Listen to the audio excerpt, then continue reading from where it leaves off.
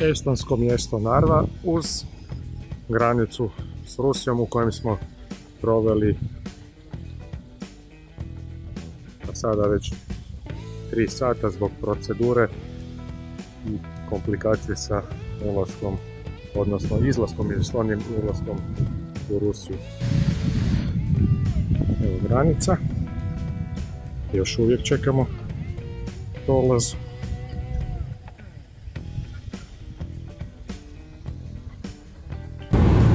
Evo 2600 km od Zagreba približavamo se Sankt Peterburgu. Nekako loših cesta, evo jedne malo ljepše, modernije po Rusiji, ali evo s obzirom samo na vlažnost Sankt Peterburgu.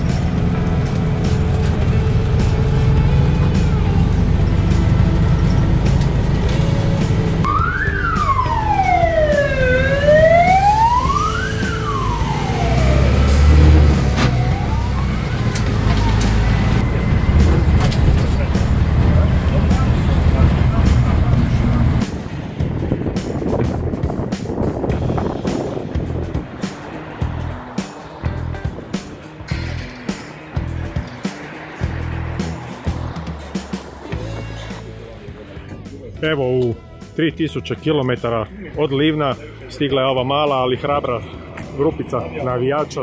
Dakle u Rošinu su došli su na trening s kakvim dojmovima nakon prve utakmice i očekivanjima od ostatka turnira.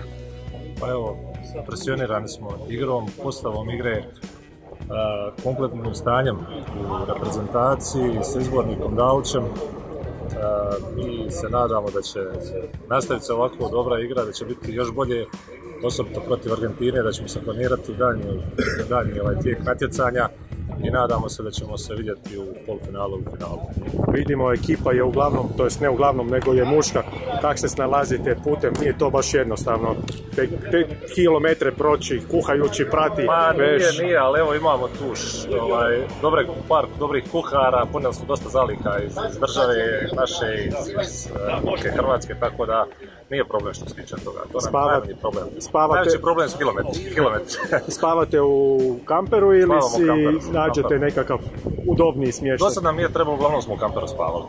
Dobro, znači avantura je super, super. preporučili bi možda još? Dakle, preporučili bi svima ako neko sljedeće prvenstvo, ako bude, ako bude ovdje negdje na kontinentu, znači putovanje kamperom ekstra iskustvo. Hvala vam i sretno, vidimo se u finalu.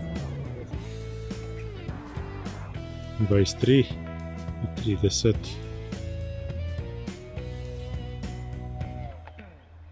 Čuvene bijele noći.